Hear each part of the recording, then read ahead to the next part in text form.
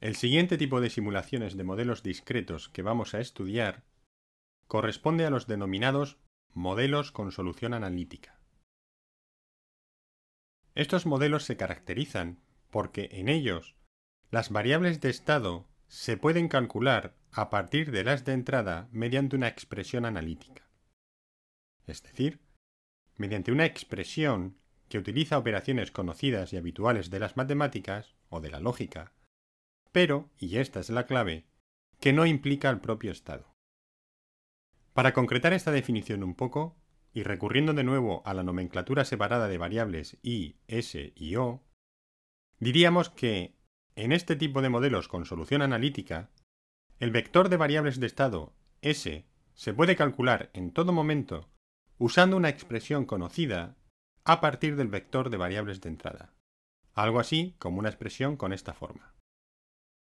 Por otra parte, en estos modelos, el vector de variables de salida se suele poder calcular en función del vector de estado, como en esta expresión, aunque lo cierto es que esta segunda parte no es demasiado especial, ya que suele ser habitual en casi todos los modelos. En este caso de modelos con solución analítica, si se conoce, como decimos, la expresión explícita que determina el estado a partir de la entrada, la simulación del modelo usando una formulación dinámica es relativamente sencilla. La inicialización, que, recordemos, precisaba del cálculo inicial del estado a partir de las entradas, se calcula simplemente utilizando la expresión f sub is. Por otra parte, la actualización del estado al producirse algún cambio en el sistema, que venía dada por esta expresión, se reduce ahora a aplicar de nuevo la expresión f sub is. Esta es la gran peculiaridad de los modelos analíticos y la que proporciona gran simplicidad a nuestra implementación. El hecho, que no presentaban las sucesiones recurrentes, por ejemplo, de que la actualización es independiente del estado actual, permite escribir un algoritmo para la expresión f sub is y utilizarlo una y otra vez. Finalmente, la salida se calcula, y no hay gran novedad como decimos respecto del resto de los modelos, mediante una expresión determinada. Esta simplicidad permite implementar fácilmente, al menos desde un punto de vista conceptual, cualquier modelo analítico, ya sea discreto o incluso continuo en una computadora. Así, por ejemplo, si el modelo es dinámico, recordemos, si depende del tiempo, podemos crear una simulación sobre una computadora que evoluciona simplemente incrementando el tiempo a intervalos dados y calculando el estado cada vez mediante el uso de la expresión f sub. Como decimos, incluso si el proceso subyacente es continuo, también podemos implementar fácilmente una simulación de este tipo de modelos, simulación que debe ser necesariamente discreta por serlo la computadora, simplemente discretizando el tiempo.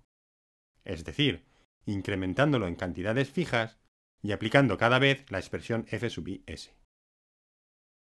Finalmente, si el modelo fuera estático, la implementación de nuestra simulación se reducirá a asegurarnos de que, cada vez que el usuario cambie cualquier variable de entrada, el programa recalcula el nuevo estado de manera adecuada, usando una vez más, ya se lo imagina usted, la expresión f sub is.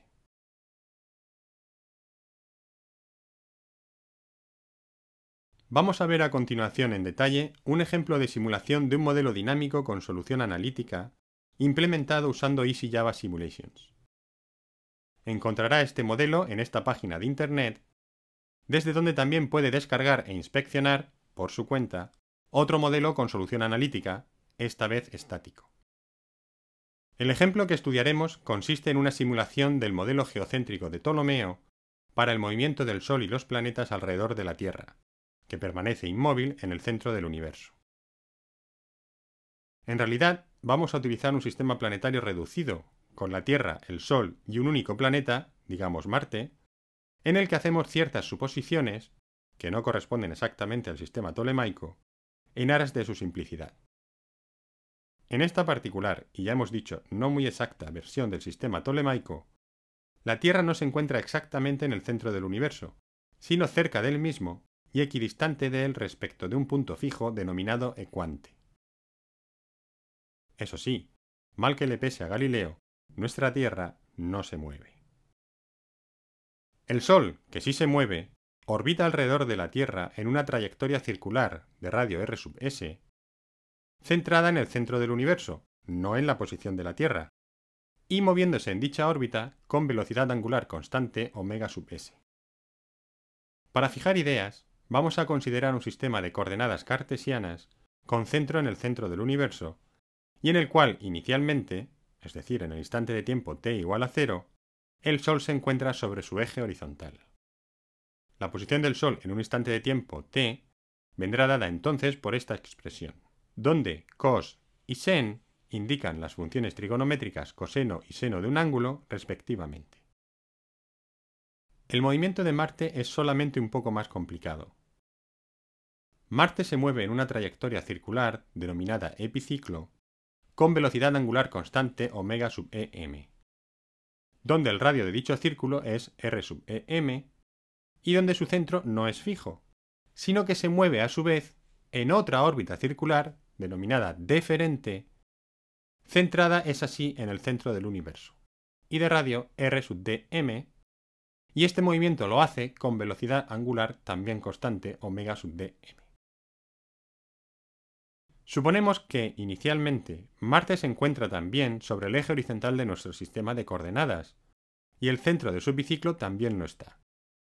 Para conocer entonces la posición de Marte en un instante de tiempo t, primero calculamos la posición del centro de su biciclo, que será esta,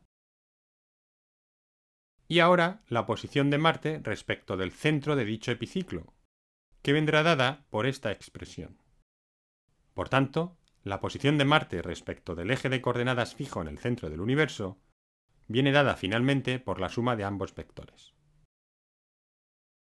Como hemos dicho, la posición de la Tierra, la del punto ecuante y el centro del universo son, faltaría más, constantes. Y en particular, la posición de la Tierra viene dada por este vector de posición. Observe que en este modelo el vector de variables de entrada está formado por la variable independiente t y los parámetros del movimiento. Y el estado viene dado por la posición de la Tierra, del Sol y de Marte. Y que se puede calcular expresamente, mediante una expresión analítica, en función de los valores en cada momento del vector de entrada. Esta expresión o expresiones son precisamente las que hemos visto hace un momento.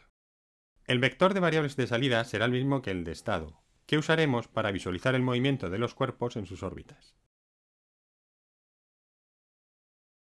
Inspeccionemos ahora la implementación sobre EJS. Abrimos el fichero correspondiente a este modelo y vamos directamente al panel de variables. Observe que hemos hecho una ordenación de las variables que no utiliza precisamente la distinción de entrada, estado y salida, sino que las hemos organizado agrupándolas por cuerpo celeste. En fin, nos ha parecido más natural. Estamos seguros de que lo comprenderá y de que esto no le hará olvidar el papel de cada variable en el modelo. Por otra parte, mejor que se vaya acostumbrando, porque este modo de proceder, queremos decir, el agrupar las variables según le parece al autor de la modelización, resulta muy frecuente en esta profesión. Nosotros al menos lo hacemos así. Observará que hemos declarado algunas variables adicionales, de entre las cuales queremos señalar esta de aquí, el incremento del tiempo dt. Esta variable, que podemos considerar un parámetro de la simulación, la usaremos para incrementar el valor del tiempo, que hemos discretizado, en cada paso de la simulación. El valor que le hemos dado de 1 resultará en una simulación bastante fluida. Hemos inicializado todas las variables en el panel de variables, así que no precisamos ninguna página de código para completar la inicialización. La evolución del sistema resulta simplísima. Aquí se ve el significado de la discretización del tiempo. En cada paso de la evolución, el tiempo da un salto, por así decirlo, discreto, aumentándose en la cantidad fija dada por dt. Y la clave de todo el modelo, que resulta característica de los modelos con solución analítica, está aquí, es la implementación de la famosa expresión f sub s, y que realizamos de manera adecuada en el panel de relaciones fijas de EJS. De este modo, como sabemos, EJS se encarga de que cualquier cambio en las variables de entrada sea por cuenta de la evolución o por la interacción del usuario con la simulación, conlleve la ejecución de este código, calculando inmediatamente el estado correcto del sistema. Por simplicidad no hemos usado, ni nos ha hecho falta, ni la página de propio ni la de elementos. Esto completa la inspección del modelo y vamos a dejar que inspeccione usted solo la construcción que hemos hecho de la vista para esta simulación. Como primera tarea personal para este vídeo, le pedimos que descargue e inspeccione por usted mismo una versión mejorada de esta simulación donde, además del movimiento absoluto, es decir, en el espacio que hemos visto de estos cuerpos celestes, se muestra una segunda visualización de cómo se verían la órbita del Sol y Marte a lo largo de la eclíptica desde la Tierra. Como segunda tarea, le pedimos que intente usted añadir un tercer planeta, digamos Júpiter, al sistema que ya tenemos organizado.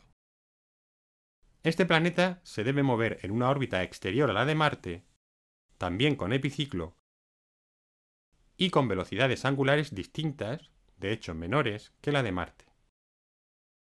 Puede usted hacer este ejercicio sobre la simulación que hemos estudiado aquí, o mejor, sobre la completa, que incluye la vista desde la Tierra. Tiene usted tiempo de hacer público el resultado de dicha tarea hasta el comienzo del siguiente módulo.